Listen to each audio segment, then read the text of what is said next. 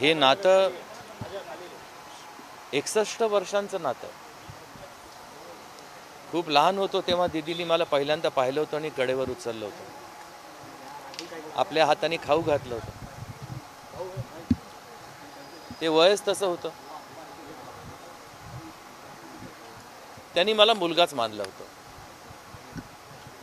आणि त्यांनी नेहमीच माझं कौतुक केलं.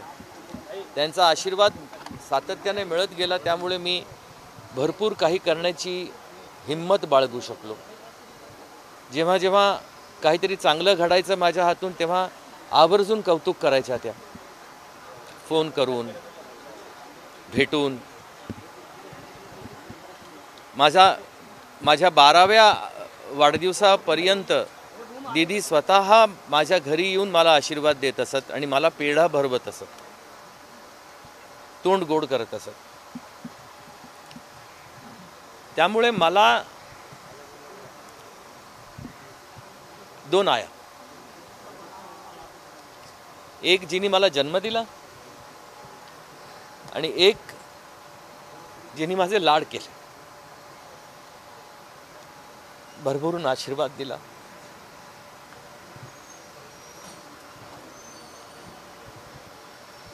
ती आई दूर झाली. पण मला खात्री आहे की तिचा आशीर्वाद नेहमीच माझ्या डोक्यावर राहील. आणि असा आशीर्वाद जो परमेश्वरापर्यंत पोहोचतो आणि तो आशीर्वाद देणारी स्वतःसुद्धा परमेश्वराकडे गेलेली आहे त्यामुळे तिचा आशीर्वाद अजून जास्त परमेश्वराकडे पोचणार आहे यानंतरसुद्धा मी फक्त परमेश्वराला एकच सांगू इच्छितो की या बाईनी खूप काही केलं. या बाईने खूप सोचलं. इतरांकरता खूप केलं.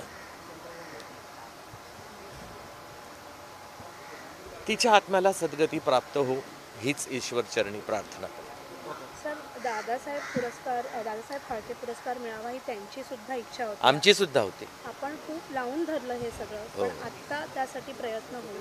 आता माहिती नाही. कदाचित महाराष्ट्र दिल्लीकरता खूप लांब पडत असतो. लांब पडत असेल कदाचित. पण आपण हे पाहत आलेलो आहे का नवीन गोष्ट नाही आहे आपल्याकरता. पण ना काय असतं की असं म्हणतात की ते कितपत खरं आहे मला माहीत नाही. की तुमच्या ओळखी असल्या पाहिजे.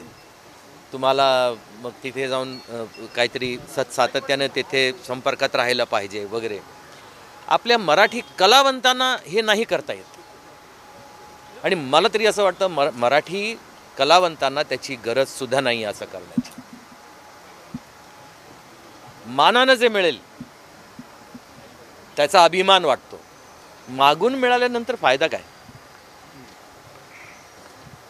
मग त्याला आपण सन्मान नाही म्हणून म्हणू शकत ना? आपण काहीतरी वेगळं म्हणायला पाहिजे मग त्याला. जे मागून मिळतं त्याला. पण माझी तरी इच्छा होतीच की दिदींना दादासाहेब फाळके मिळावं. दिदींचं असं म्हणणं होतं की त्यांच्या गुरूंना अठ्ठ्याण्णव्या वर्षी मिळालं त्यांच्या.